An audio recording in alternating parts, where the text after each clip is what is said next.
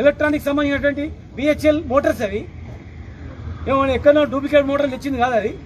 ఈ గడ్డ మీద పుట్టినటువంటి బిహెచ్ఎల్కు ఎక్కడ ఆర్డర్ చేయలే మా కేసీఆర్ గారు ఇక్కడ సంస్థ పెట్టినావు ఉద్యోగాలు ఇచ్చినావు ఇక్కడ ఉన్న మోటార్లు ఇస్తా అని చెప్పి ఐదు మోటార్లు బిహెచ్ఎల్లోకి ఇచ్చి తెప్పించినాం. పి ఐదు మోటార్లు బిహెచ్ఎల్లోకి ఇచ్చి తెప్పించినాం. పి ఐదు మోటార్లు బిహెచ్ఎల్లోకి ఇచ్చి తెప్పించినాం.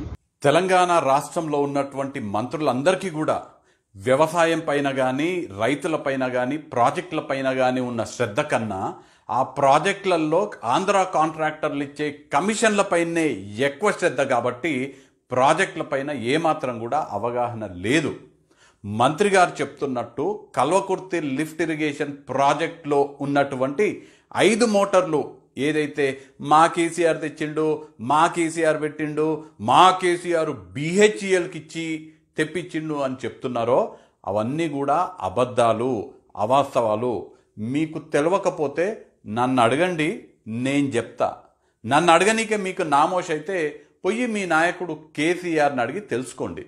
కల్వకుర్తి ఎత్తిపోతల పథకం మొదటి స్టేజ్ పంప్ హౌస్లో బిగించినటువంటి ఐదు మోటార్లు కూడా ప్రతి ఒక్కటి ముప్పై మెగావాట్ల ఎనిమిది వందల క్యూసెక్ల సామర్థ్యం కలిగినటువంటి మోటారు మా నాయకుడు రైతు బాంధవుడు దివంగత ముఖ్యమంత్రి డాక్టర్ వైఎస్ రాజశేఖర్ రెడ్డి గారు విడుదల చేసినటువంటి నిధుల ద్వారా రెండు వేల పదిలోనే తీసుకురావడం జరిగింది ఆ ఐదు మోటార్లు కూడా.